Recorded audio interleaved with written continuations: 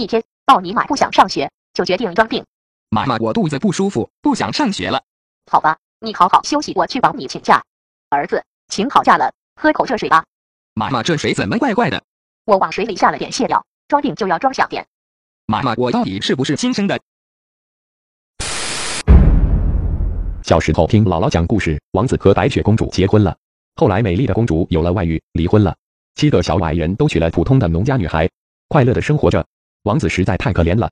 后来我看了书后才知道姥姥讲的不对，可能是姥姥年纪大了，记错了。直到有一天，我偷听到姥姥和妈妈讲话。您给小尼玛讲的故事怎么和小时候给我讲的不一样呢？小尼玛长得像他爸爸，将来肯定找不到漂亮姑娘，让他以为美女都很坏，将来他被拒绝就不会太伤心了。姥姥对我真好。等等，好像有什么不对。咣当！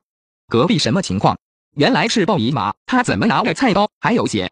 鲍大哥，平时我是隔着墙偷听过，但什么都没做。嫂子是和隔壁的老王，和我一点关系都没有。我只是在杀鸡，不小心割到自己手了。等等，你刚刚说什么？老王，开门出来，我请你吃鸡。老公今天路上遇上了色狼。好不容易才摆脱了他，老婆，你费那么大劲干嘛？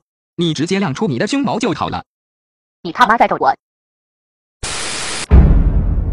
从前有位王子想娶一位公主，以为公主来到城堡，王子决定考考她。王子将一粒豌豆放在床铺下，让公主睡。第二天，王子床下有东西硌得我睡不着，皮肤这么嫩，是位真正的公主。王子走后，老王快出来！你躲床垫下面干啥？硌死老娘了！